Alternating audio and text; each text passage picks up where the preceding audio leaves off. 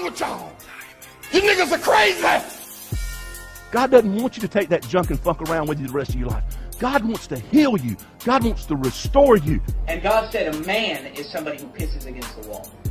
Did you know this? When I was in Germany, you're not even going to believe this. Oh, God's gonna put a cancer in the butthole of every sodomite. In public places, they had a sign that prohibited a man from peeing standing up. Every sodomite's butthole will get cancer in the butthole. that we need to get to, but we ain't going nowhere until we lay the hell out some stuff. It'll burn and burn and burn. They won't be able to sit down because of the burning in their butthole. We got a bunch of preachers, we got a bunch of leaders who don't stand up and piss against the wall like a man. He can't sit down. He's got a burning in his butthole. He's got a fire. He's got a flame coming out of his butthole. If you thought that AIDS was bad, you ain't seen nothing yet until you see the flaming butthole. He's gonna bring it through. Praise him.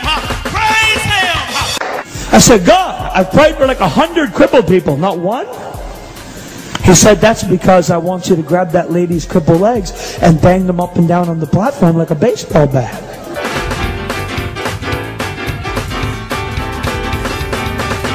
Walked up and I grabbed her legs and I started going, be healed!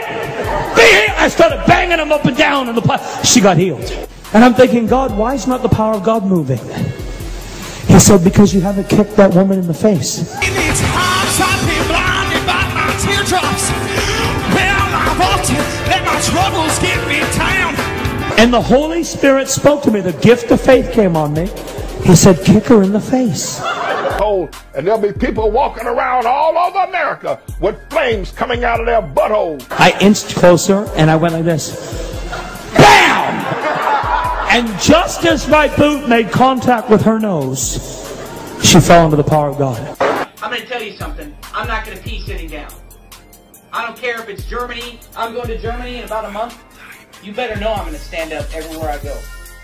I'll be a prostituting, having oral sex in my mouth, licking in bars.